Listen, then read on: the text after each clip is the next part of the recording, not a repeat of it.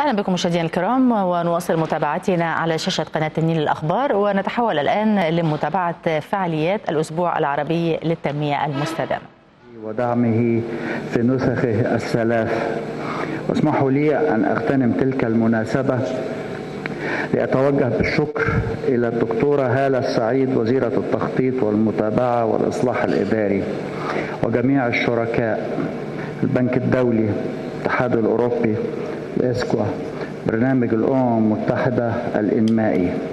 على مساهمتهم الفعالة والإيجابية في إنجاح أعمال هذا الأسبوع وإخراجه بهذا الشكل اللائق. ويأتي انعقاد الأسبوع العربي للتنمية المستدامة هذا العام في ظل تطورات نتابعها جميعا سواء على الصعيد العربي أو حتى على مستوى العالم. ثمة مطالب اجتماعية واقتصادية تعبر عن نفسها في صورة احتجاجات جماهيرية. وهناك تطلعات مشروعة لدى كتل ضخمة من السكان في تحسين مستوى حياتهم والارتقاء بجودة حياة أبنائهم. وإذا تحدثنا عن العالم العربي تحديدا فإن هذه التطلعات تبدو باعثا واضحا وراء الكثير من التوترات الاجتماعية والسياسية والمظاهرات المطالبية في عدد من البلدان العربية. لا ينبغي ابدا أن نغض الطرف عن تطلعات شعوبنا إلى حياة أفضل من حيث الخدمات الأساسية والصحة والتعليم. ولا يمكن ابدا أن ننكر استمرار وجود فجوة بين الجهود التنموية التي تقوم بها الحكومات من ناحية وتطلعات وتوقعات الشعوب في حياة أفضل من ناحية أخرى. ولا شك أن اتزاع هذه الفجوة بين الواقع والطموح ليس في مصلحة الحكومات أو الشعوب. ذلك أن التوقعات المتزايده بفعل عوامل مختلفة منها زيادة التمكين وتحسن الاتصال تخلق نوعا من التوتر المكتوم داخل المجتمعات بحيث لم يعد في مقدور الحكومات الاكتفاء بتوفير الحد الأدنى. وصار عليها الارتقاء بمستوى أدائها باستمرار حتى يصل لمستوى التطلع والطموح لدى شعوبها. إن ما تعرضت له المنطقة العربية من هزات سياسية ضخمة منذ بداية العقد الحالي أثر ولا شك على مسيرة التنمية. صار على عدد من الدول العربية التعامل مع التبعات الخطيرة لحالات الاضطراب الأهلي. من لاجئين ونازحين ومخاطر أمنية متزايدة. مع كل ما ينطوي عليه ذلك من استنزاف للموازنات العامة. وعبء على خطط التنمية.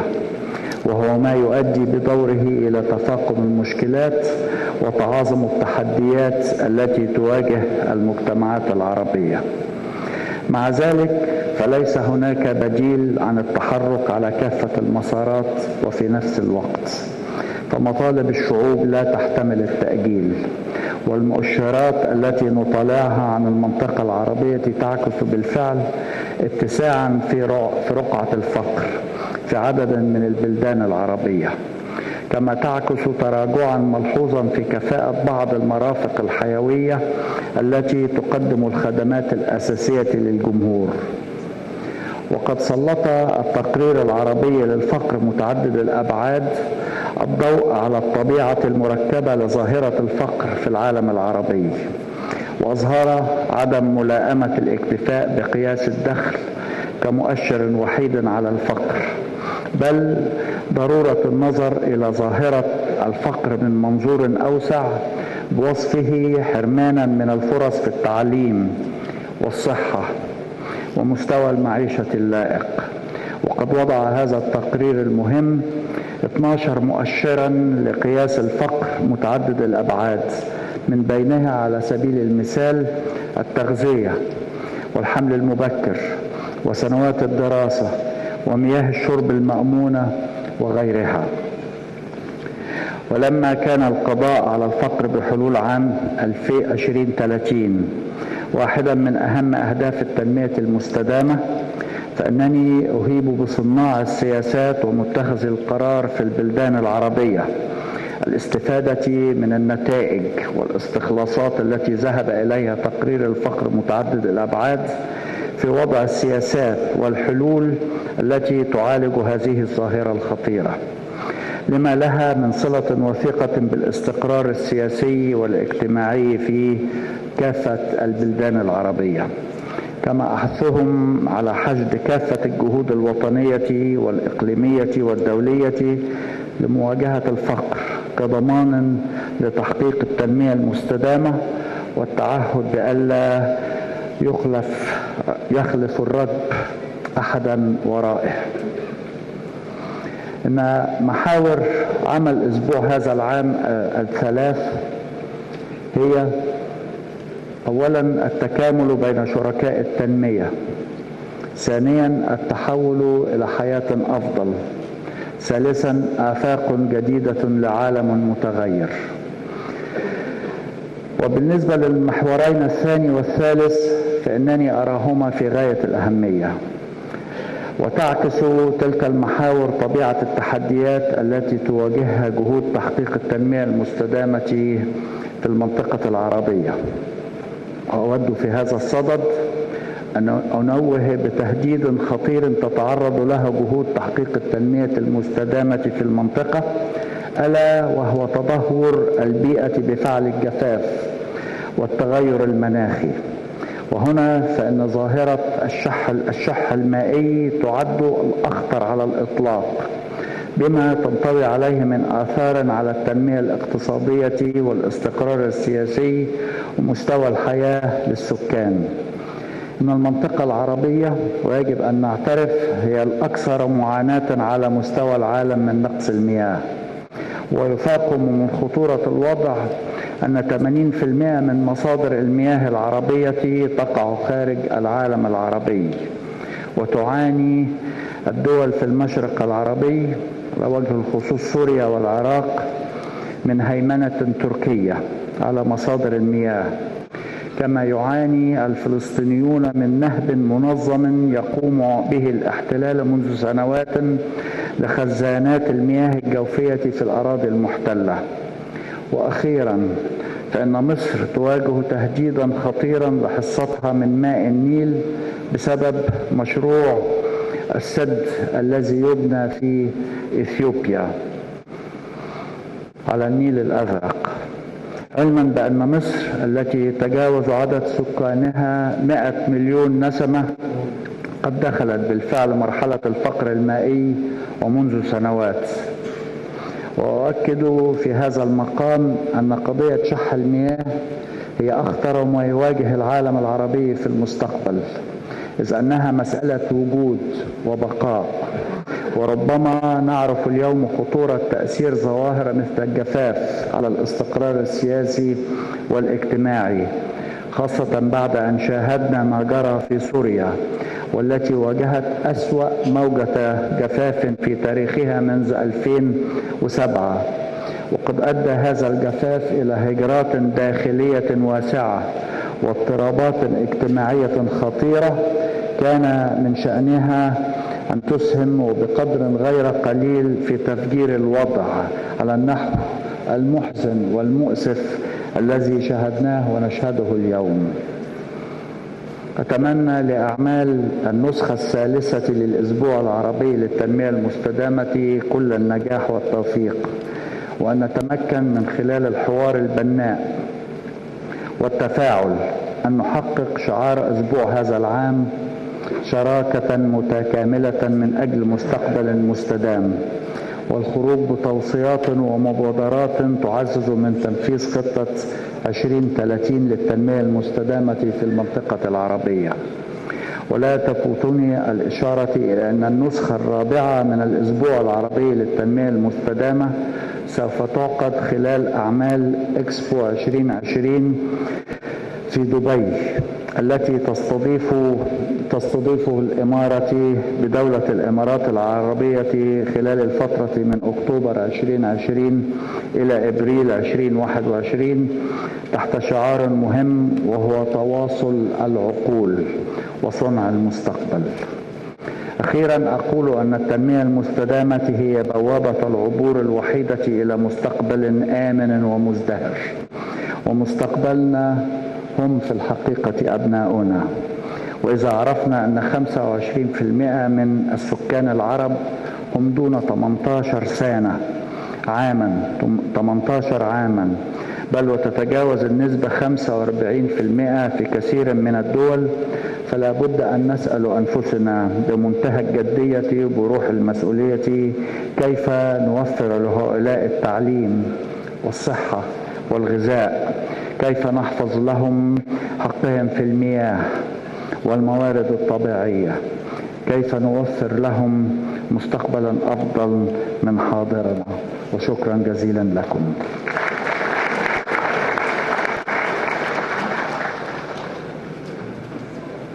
شكرا معالي الأمين العام على هذه الكلمة التي قدمت تحليلا موجزا للتحديات التنموية في الوطن العربي. كما قدمت رؤية مستقبلية يمكن من خلالها البدء في تنفيذ عدد من الخطوات الفعلية لتكون النواة لخارطة طريق تمكن كافة أصحاب المصلحة من الوصول إلى تفعيل الشراكة المتكاملة من أجل مستقبل عربي مستدام.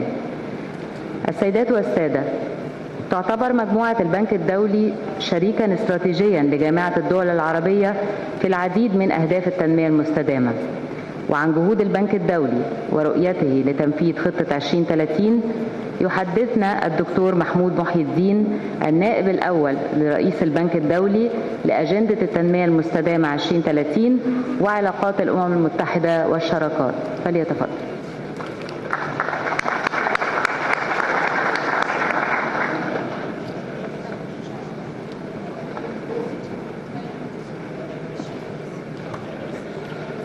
شكرا جزيلا لهذا التقديم. معالي وزيرة التخطيط والمتابعة والإصلاح الإداري نائبة عن السيد عبد الفتاح السيسي رئيس جمهورية مصر العربية معالي الأمين العام المنصة الكريمة السيدات والسادة أصحاب المعالي والسعادة. السلام عليكم ورحمة الله. يسعدني سعادة بالغة.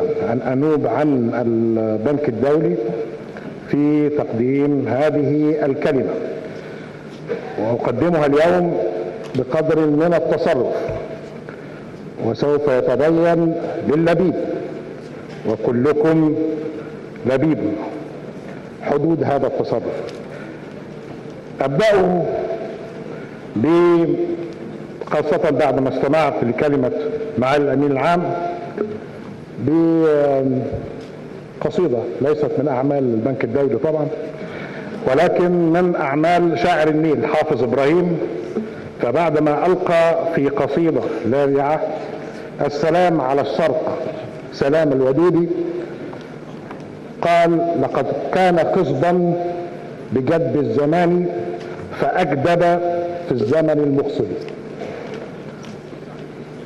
كيف تربط بين هذه الكلمات التي ألقيت منذ أكثر من مئة عام على أحوال التنمية العربية وأوضاع الاقتصاد وشؤون التنمية الاجتماعية والبشرية في العالم العربي ومستجدات التنمية المستدامة.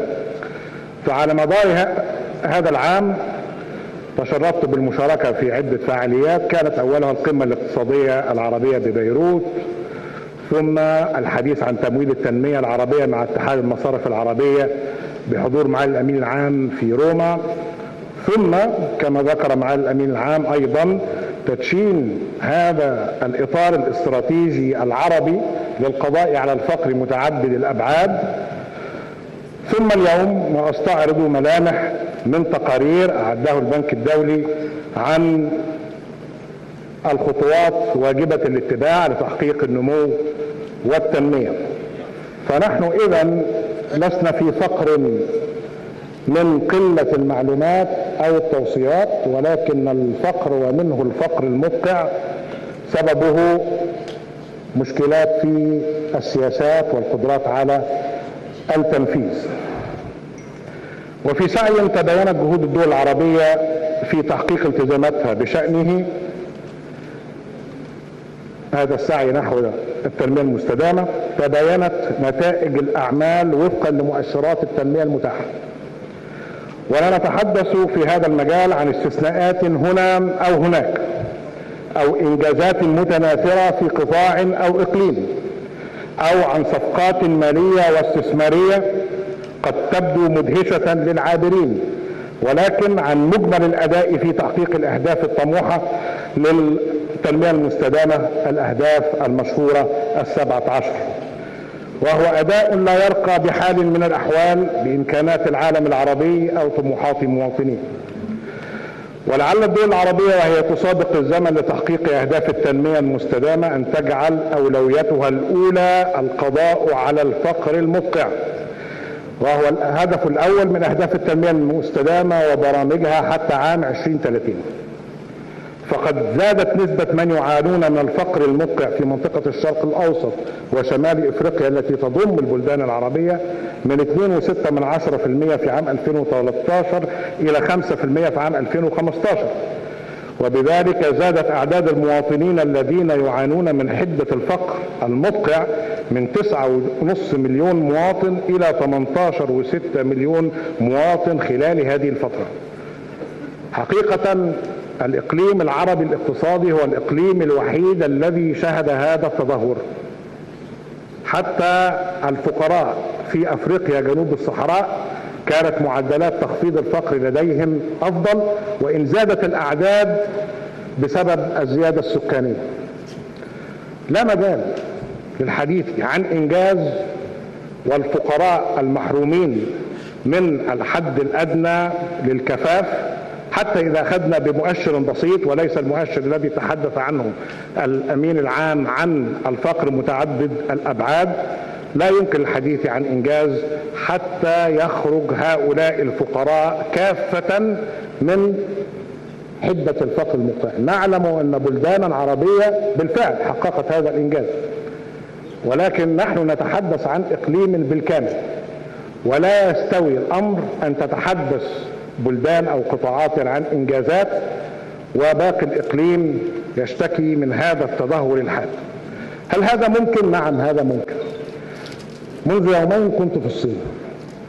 والصين حققت أمور كبيرة وكثيرة منها انتشال 850 مواطن صيني من الفقر المدقع على مدار الأربعين سنة الماضية. انتهى بهم الأمر إنه عند 2015 وجدوا إنه ما يتراوح ما بين 55 مليون ل 60 مليون من المواطنين الصينيين ما زالوا يعانوا من الفقر المدقع فأعلنوا عن برنامج شمل خمسة أمور بأن لا يعاني أحد من الجوع أو نقص في الكساء. وبالإضافة لهذين الأمرين هناك ثلاثة أخر بتوفير التعليم الأساسي بجودة مناسبة حتى المرحلة التاسعة وتوفير الرعاية الصحية الشاملة للكافة وتوفير السكن الملائم لكل المواطنين. أبشركم باعتبارنا في نهاية الأمر مواطنين في هذا العالم أن أصدقائنا في الصين في العام القادم لن يكون لديهم فقير واحد يعاني من الفقر المدقع وبذلك تكون تحقق للصين هدف الأول من أهداف التنمية المستدامة قبل موعده بعشرة أعوام. هذا أمر وارد أن يتحقق في عالمنا العربي المتوفرة لديه الإمكانات الضخمة ولديه أيضا القدرة على الإنجاز إذا أراد. وكما ذكرت في مقال سابق أن الأمر لا يتوقف فقط عند سبق نشره لا يتوقف فقط عند الفقر ولكن أيضا في عدم العدالة في توزيع الدخل والثروة وهو الهدف العاشر من أهداف التنمية المستدامة. وللأسف كما حدث تدهور في المؤشرات الفقر حدث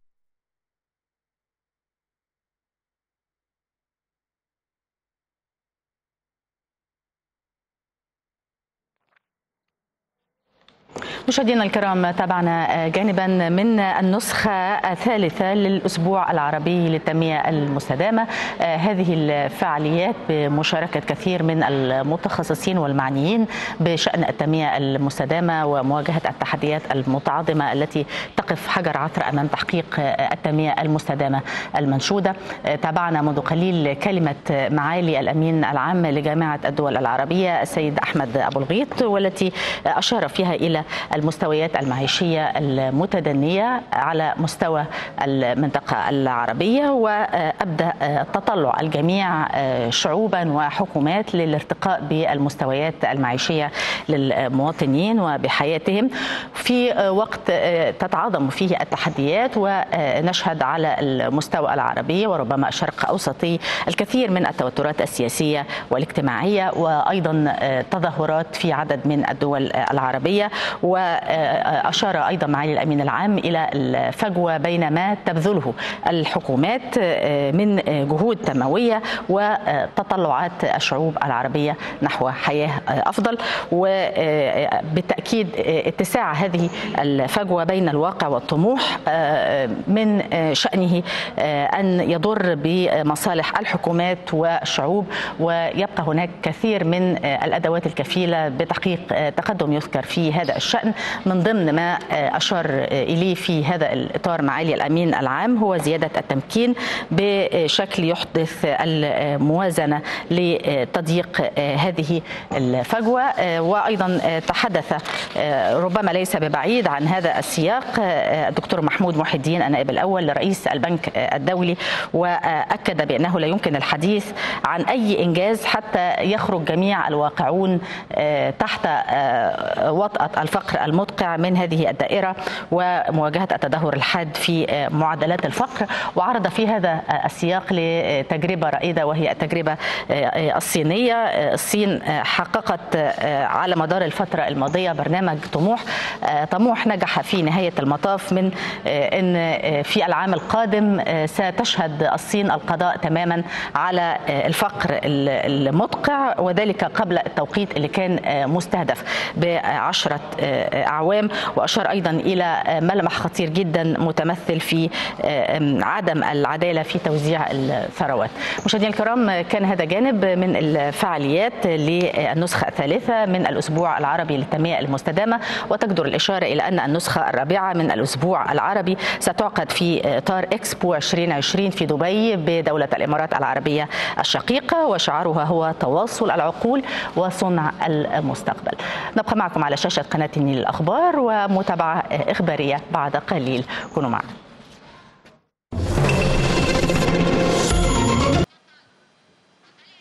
ونتابع معكم مشاهدينا الكرام فعاليات الأسبوع الثالث للأسبوع العربي للتنمية المستدامة. وكان هناك كلمة في البداية للامين العام لجامعة الدول العربية. والآن الحديث للدكتور محمود محيي الدين مواصلة لإدلائه بدلوه في مواجهة التحديات التنموية. وهو الأمين العام وهو النائب الأول لرئيس البنك الدولي. إمكانياتها الكاملة وأهمها على الإطلاق البشر وأخص منهم الشباب الواعد المهيمن على التركيبة السكانية للشعوب العربية. وخالص الشكر مرة أخرى للدعوة الكريمة لحسن استماعكم وتمنياتي بأن تتمتعون بنقاش مثمر يكون له أثر على أرض الواقع. وشكرا جزيلا.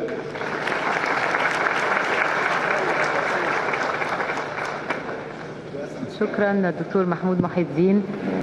السيدات والسادة تشكل مساهمة الأسكوا في جهود التنمية في المنطقة العربية حالة متميزة وتنظم بالتعاون مع الأمانة العامة لجامعة الدول العربية المنتدى العربي للتنمية المستدامة.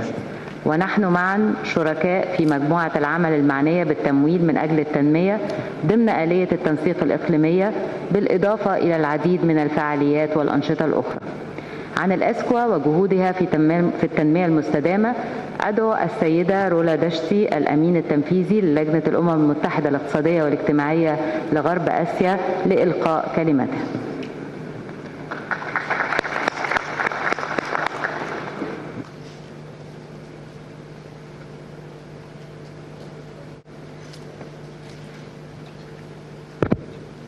شكرا أخت ندى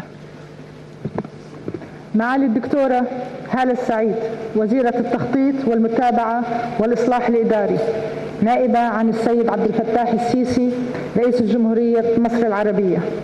معالي السيد أحمد أبو الغيط أمين العام لجامعة الدول العربية. أصحاب السعادة والمعالي الحضور الكريم. في البداية يسعد صباحكم جميعا وأسفين على التأخير. نجتمع اليوم في مناسبة الأسبوع العربي للتنمية المستدامة بعد أربع سنوات على إطلاق خطة عام 2030 نقف على حال أهداف التنمية المستدامة في المنطقة العربية ونبحث في سبل تنفيذها. نلتقي وللأسف المظاهرات المطلبية والاضطرابات والنزاعات تهز عديد من الدول, الدول العربية بلدان الدول العربية. نراها في لبنان والعراق والجزائر وسوريا واليمن وليبيا. نتحدث وتحضرني كلمات طفلة عربية اسمها منار. أخبرتني منار إنها تمشي إلى المدرسة والقصف والموت يتربصان بها وإنها تجوع أحيانا لأن تناول وجبة من الطعام ترف في بلدها. أخبرتني بفخر إنها تبيع البطاطا كي تدفع تكاليف دراستها. وأخبرتني كذلك عن رفيقتها مريم التي أخرجها والدها من المدرسة قسرا وهي تبكي لترفها ليزفها إلى رجل مسن وهي لم تزل طفلة. نتحدث وأمامي مشهد شابة اسمها جنى. أطلقت بالأمس صرخة في شوارع أحد بلداننا غضبا على تضحيات بذلتها لنيل شهادة الجامعية. فإذا بهذه الشهادة تبقى معلقة على الجدار. لا انتشلت جنى من البطالة ولا أنقذت أمها من مرض أودى بحياتها فقط لأنها عجزت عن تحمل تكاليف علاجها. وجع منار ودمعة مريم وصرخة جنى أيها الحضور الكريم وجع وصرخة ودمعة ملايين الشباب والشابات في بلداننا ودليل سافر على تقصيرنا وأخفاقنا بالرغم من الجهود المبذولة. وكما تكلم الأخ العزيز محمود ومعالي الأمين العام في منطقتنا بلدان يحوز فيها أغنى واحد في المئة من السكان أكثر من 15% من الدخل القومي مع فوارق صارخة بين المدن والأرياف. في منطقتنا ومنطقتنا هي الوحيدة في العالم التي ارتفع فيها معدل الفقر المدقع في السنوات الست الأخيرة حتى بلغ 20% من السكان وفي منطقتنا عشرات الملايين الذين وإن نجوا من الفقر المدقع فهم فقراء أو معرضون للفقر المتعدد الأبعاد. وفيها نحو 20 مليون طفل محروم من التعليم. وبطالة هي الأحلى في العالم. 26% ونحو 50 شخصا 50 مليون شخص يعانون من سوء التغذية. و51 مليون شخص محروم من خدمات المياه الشرب. يخشى أن يتفاقم حرمانهم بفعل تغيير المناخ. في منطقتنا تحل مساهمة الصناعات التحويلية في الناتج المحلي الإجمالي في ثاني أدنى المراتب في العالم. ومن السبعين المليون شخص من الهاربين من النزاعات في العالم 42% منهم من منطقتنا. تلك أرقام مخيفة. ومع ذلك يحذوني التفاؤل فالاستعراضات الوطنية الطوعية تفيد بأن معظم بلداننا اعتمدت خططا تنموية أكثر شمولا للجميع. وضعت سياسات لحماية البيئة ورسخت حقوق الإنسان في الدساتير وعززت مشاركة المرأة السياسية وخفضت معدلات وفيات الأمهات والأطفال ودعمت المشاريع الصغيرة والمتوسطة.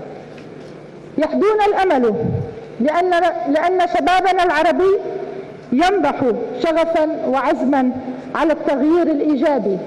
ولأن حكوماتنا ملتزمة بتحقيق الاستقرار والعدل والازدهار.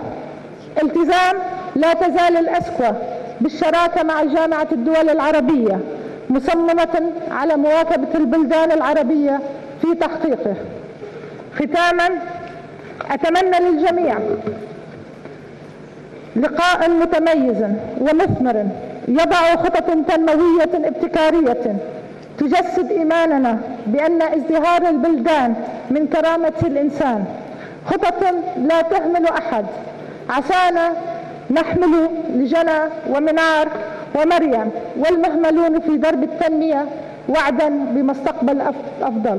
وشكرا لدعوتي للمشاركة شكرا الدكتورة رولا دشتي على هذه الكلمة الوافية. السيدات والسادة حرصا من الجامعة العربية على تعزيز وتفعيل الشراكات الدولية والإقليمية وفي ضوء انعقاد القمة العربية الأوروبية في فبراير 2019 بجمهورية مصر العربية يسعدنا أن يشارك معنا اعتبارا من هذا العام الاتحاد الأوروبي كشريك استراتيجي جديد في تنظيم الأسبوع العربي للتنمية المستدامة. للبناء على توصياته في العديد من الفعاليات والأنشطة المشتركة التي ستكون إضافة لقوة شراكاتنا لدعم الدول العربية في تحقيق التنمية المستدامة المنشودة. وفي هذا الإطار يسرني أن أدعو السيد السفير إيفان سوركوش رئيس وفد الاتحاد الأوروبي بالقاهرة لإلقاء كلمته.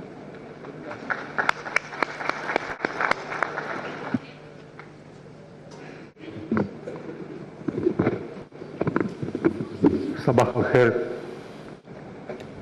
والسلام عليكم جميعا معالي أحمد أبو جيت سكرتير العام للجامعة الدول العربية معالي دكتورة هلا السعيد وزير التخطيط والمتابعة والتصليح الإداري دكتور محمود محي الدين Senior Vice President of the World Bank Mrs. Rola Dashti, Executive Secretary of ESCOA, and uh, Mrs. Randa Abul Hosni, representing uh, UNDP Regional Director for Arab countries. Uh, Maali Sufara, Al-Khudur Al-Kiram, Sayyidati Wasara.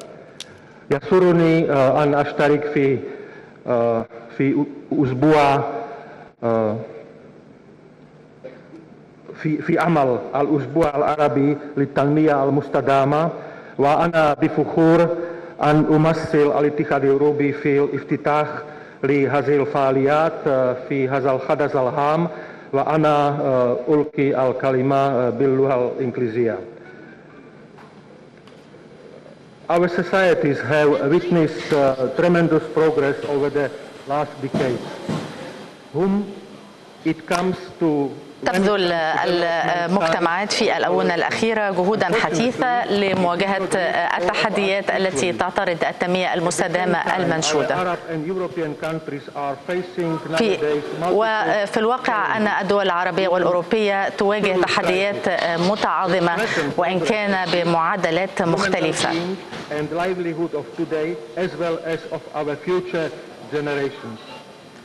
وهي تواجهها الأجيال الحالية وسوف تواجهها أيضا الأجيال القادمة مما يتطلب إيجاد الحلول المناسبة لمعالجة هذه الأزمات Sustainable development for each and everyone should not be a luxury but a given, considering the wealth of knowledge and resources of our societies and the technological الحصول على الموارد اللازمة ليس رفاهية في هذه المرحلة.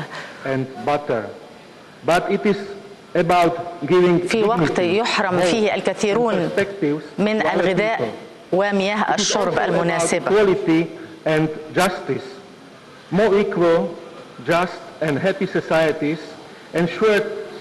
تحقيق العدالة في توزيع الموارد والخدمات. هو المصدر والشرط الحقيقي لتحقيق هناء الشعوب ورفاهيتها is of utmost importance and I would like to thank uh, the League of Arab States for organizing it. Since uh, 2016, the League of Arab States and the European Union لقد تم التوصل إلى تنسيق بين الجانبين العربي والأوروبي في عام 2016 للمضي قدما في تحقيق طفرات ملحوظة في مجال التنمية المستدامة. من خلال تبني استراتيجيات لتحقيق التنمية في مختلف المجالات. And is now supporting countries inside the EU but also outside وكثير من الدول في الاتحاد الأوروبي تلقى الدعم في هذا الإطار. من خلال التواصل المضي قدما في برامج مشتركة لتحقيق تطلعات التنمية المستدامة وفقا لأجندة عام 2030 also reiterated the leaders' full commitment وشرط أساسي لتحقيق تطلعات المنشودة هو التزام القادة بالبرامج المحددة. وأيضا المنظمات المعنية. لتحقيق متطلبات وشروط. خطة عام 2030 المنطقة العربية متأثرة بكثير من الأزمات. وهي مزيج من التحديات السياسية والاقتصادية والتغيرات المناخية والانقسامات الاقتصادية التي بالتأكيد تلقي بظلالها على وفرة الموارد.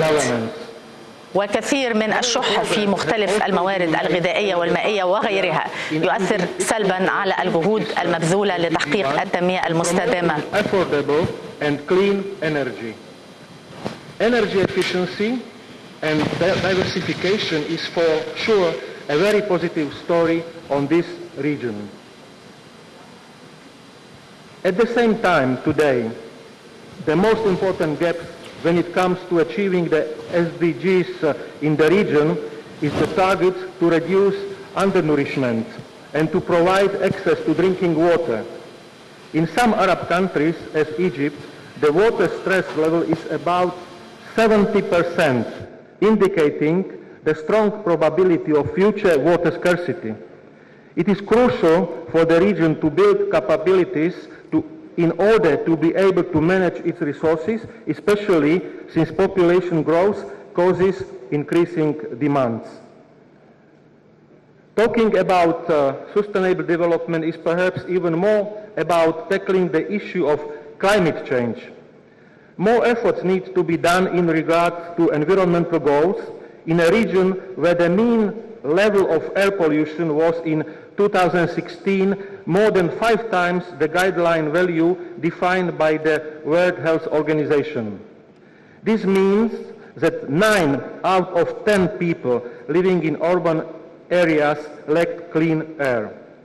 Whereas many countries in the world are also experiencing problems achieving the SDGs, هناك أيضا دول عربية تشهد برامج بالفعل لتطوير جهود التنميه المستدامة. سواء جهود تبذلها الدول على حده أو من خلال التضافر مع بعضها البعض. ومن ضمن الحلول التي يجب أن تكون متواجدة هو معالجة الأزمات والعنف المستشري في المنطقة لأن هناك رابط كبير بين حل هذه الأزمات وتحقيق تقدم يذكر في مجال التنمية المستدامة.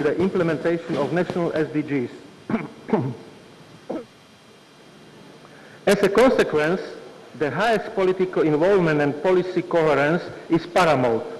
Between a variety of actors, actors be it uh, policymakers, civil society, التعاون بين كثير من الجهات المعنية لافت في السنوات الأخيرة مراكز صنع القرار والمنظمات والمجتمع المدني المعنية بهذا الأمر. لتحقيق التنمية المستدامة.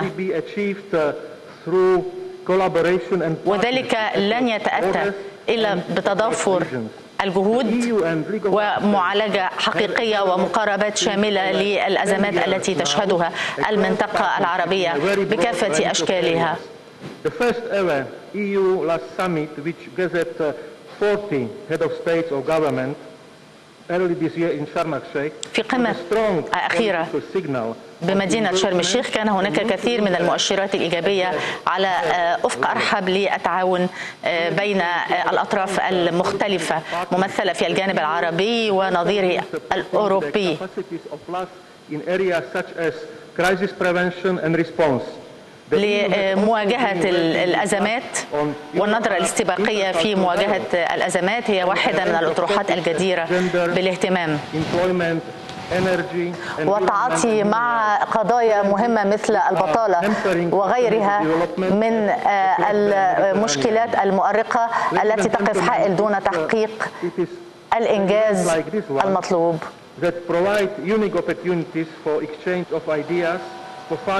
تبادل الرؤى والخبرات لتعظيم الاستفادة من الجهد المبذول. هي واحدة من المتطلبات في هذه المرحلة. beyond. شكرا جزيلا على حسن أوجه لكم الشكر على آه، حسن استماعكم. كلمة آه، السيد إيفان سوركوش كانت كلمته هو رئيس وفد الاتحاد الأوروبي بالقاهرة. شكل برنامج الأمم المتحدة آه، البرنامج الأمم المتحدة الإنمائي شريكا استراتيجيا هاما للدول العربية يساهم في تأمين دعم فاعل لأنشطة التنمية في المنطقة. وللحديث عن جهود البرنامج الإنمائي ورؤيته بشأن تنفيذ خطة 2030 في المنطقة العربية أتشرف بدعوة السيدة رندا أبو الحسن الممثل المقيم لبرنامج الأمم المتحدة الإنمائي لإلقاء كلمته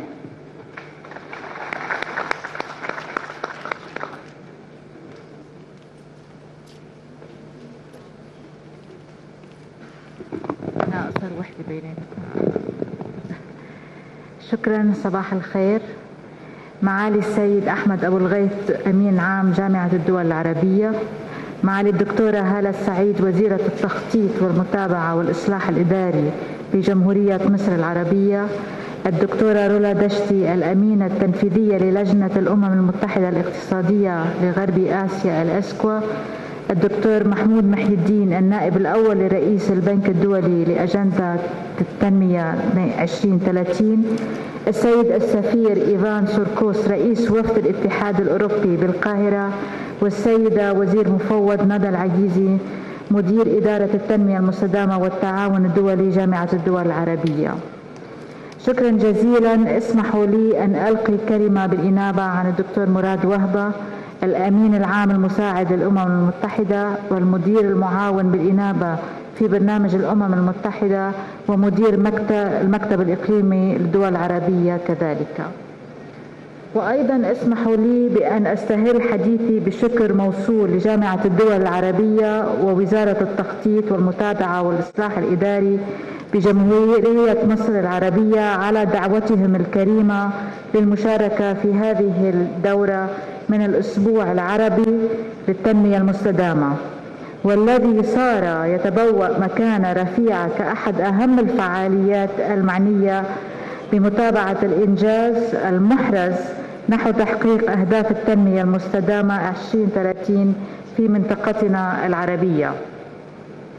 وتتخذ هذه الدورة الثالثة من الأسبوع العربي للتنمية المستدامة قضية بناء شراكات متكاملة من أجل مستقبل مستدام كمحور اهتمامها الرئيسي وهي قضية يضعها برنامج الأمم المتحدة على رأس أولويات ما يقدمه من دعم لجهود الدول حول العالم في سعيها لتحقيق الأهداف السبعة عشر للتنمية المستدامة 2030 ففي جميع أنحاء العالم بما فيها هنا في المنطقة العربية نرصد تصاعدا مطردا في تحديات التنمية تزداد معه وطأتها إلحاحا وتعقيدا على أصعدة مختلفة في توسيع حضري وتغيير مناخي وضغوط ديمغرافية وغياب للأمن والسلام وعلى نحو لا يمكن مواجهته سوى من خلال نهج متكاملة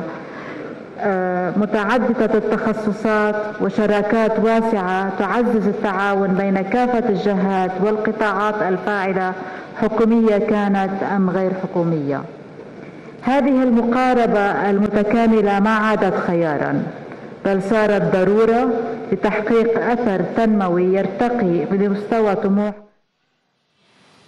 ونتابع الآن كلمة وزيرة التخطيط والمتابعة والإصلاح الإداري الدكتورة هلا السعيد نيابة عن السيد الرئيس عبد الفتاح السيسي في الأسبوع الثالث للتنمية المستدامة مقارنة ب 13.4 مليار دولار في عام 2013 والتي كانت لا تتعدى تغطية ثلاثة أشهر واردات. السيدات والسادة الحضور الكريم. حققت مصر أيضا استثمار كبير في مجال البنية التحتية في العديد من المجالات مثل الاستثمار في الطرق والمواني والكهرباء. وتعمل مصر على تهيئة البنية الأساسية اللازمة لجذب المستثمرين وتشجيع مشاركة القطاع الخاص في تحقيق التنمية الشاملة والمستدامة. فزيادة الاستثمار في البنية التحتية من خلال مشروع الشبكة القومية للطرق ومشروع قطاع الطاقة الجديدة والمتجددة وخاصة مشروع بنبان في أسوان كأكبر مشروع طاقة جديدة ومتجددة بالمشاركة مع القطاع الخاص. وكذا الاستثمار في البنية التكنولوجية والتحول الرقمي والبدء فعلا في تفعيل أول محافظة رقمية وهي محافظة بورسعيد. كما بدأت الحكومة المصرية خطوات جادة لأول مرة نحو إصلاحات هيكلية في القطاعات الإنتاجية المختلفة لضمان استدامة عملية النمو والتنمية. وإنشاء أول صندوق سيادي مصري لضمان مشاركة أكبر للقطاع الخاص المحلي والأجنبي لتعظيم الاستفادة من أصول الدولة وتوسيع قاعدة الملكية. سيدات والسادة الحضور الكريم. أود أن أكد أن ما تم تحقيقه من مؤشرات ونتائج إيجابية. ما هي إلا بداية لمسيرة طويلة من العمل الجاد والإرادة الحقيقية على المضي قدما لاستكمال تلك المسيرة. وأود أن أكد أن كل ذلك لم يكن ليتحقق دون شراكة فاعلة بين كافة الأطراف الحكومة والقطاع الخاص والمجتمع المدني وكافة شركاء الدولة المحليين والإقليميين والدوليين. ختاما أتوجه بالشكر والتقدير. إلى السيد الأمين العام لجامعة الدول العربية على الشراكة الفاعلة بين الحكومة المصرية وجامعة الدول العربية ولكافة فريق جامعة الدول العربية. وكذا لشركائنا من مجموعة البنك الدولي والأمم المتحدة والاتحاد الأوروبي. وأخيرا لزملائي في وزارة التخطيط والمتابعة والإصلاح الإداري. وختاما أتمنى أن تكلل المداولات محفلنا الهام بالنجاح في دفع الجهود الرامية لتحقيق التنمية المستدامة لصالح المواطن العربي ودوام التوفيق والرفعة لأوطاننا العربية وشعوبنا الكريم. السلام عليكم ورحمة الله وبركاته. شكرا معالي الدكتورة هالة السعيد